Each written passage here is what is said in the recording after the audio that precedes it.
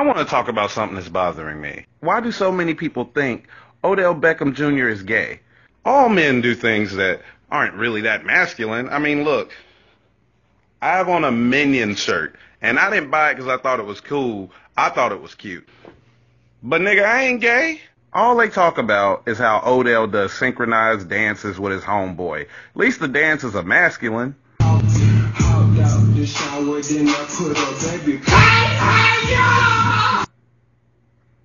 I mean, he was clearly playing around in that video.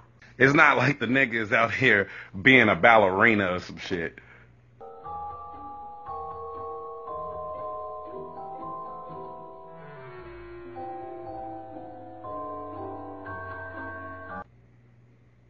When when the fuck did he do that? Look, it don't even matter. Lynn Swann, Hall of Fame wide receiver, played with the Steel Curtain Steelers, and he did he did ballet. It helps you keep your feet in bounds whenever you catching passes on the sideline, and um, it's not like the nigga is like a video vixen twerking on a boat in a sheer shirt or some shit.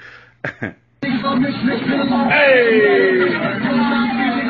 Woo! When the fuck? When the fuck did he do that? That nigga, that's gay.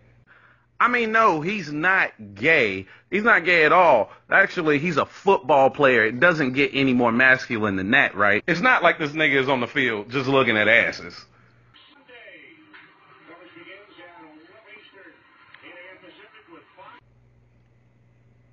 Fuck it, I give up.